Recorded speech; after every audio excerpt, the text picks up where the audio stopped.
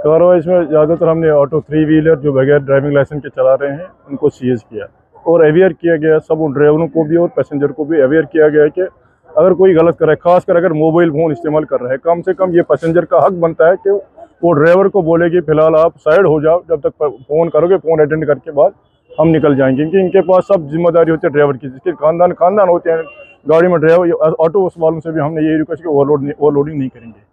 Sir आप बार बार अपने drivers में ये कह रहे हैं कि पब्लिक कॉपरेट नहीं कर रही है लाइक पैसेंजर कॉपरेट नहीं कर रहे हैं टू कर्ब द वायलेशन और द वायलेटर किस तरह की मैसेज देना चाहेंगे आम पब्लिक के लिए भी आपकी, ताकि वो आपके साथ ताउन दे और आप अपनी कार्रवाई में कामयाब हो आपने खुद देखा, जब हम किसी सड़क पर बैठते हैं तो वहाँ से गाड़ियाँ, वो बोलते हैं गाड़ियाँ खराब हो गई। जो पैसेंजर गाड़ी में होते हैं, उसी दिन खराब क्यों होती है? जब ट्रैफ़िक वाला आगे होता तो उस दिन गाड़ी खराब क्यों होती है? उनका ये हक बनता है कि उसको आगे लाएँ। अगर वो गलत है तो हम उसको कानूनी कार्रवाई करें। अगर गलत नहीं है क्यों वो भाग जाते हैं पीछे? उधर से क्यों तो? हम रिक्वेस्ट करते हैं पैसेंजर साहब में कि वो नहीं उतरेंगे। उनका हमारा कॉन्टैक्ट नंबर हम ही जाएँगे उधर। जहाँ गाड़ियाँ रुकते हैं वापस मुड़ते हैं हम ही बुलाएँगे वापस हम उधर ही जाएँगे। ये- के हवाले से बांडीपुर में अक्सर बेहतर शिकायतें आती रहती है कि यहाँ ट्रैफ़िक जाम काफ़ी ज़्यादा लगता है सर। क्या वजह? यही वजह है कि जो हमारा जो लोकल जो गाड़ियाँ हैं प्राइवेट गाड़ियाँ वो खरीदारी करते हैं सड़क पर गाड़ी खड़े करते हैं।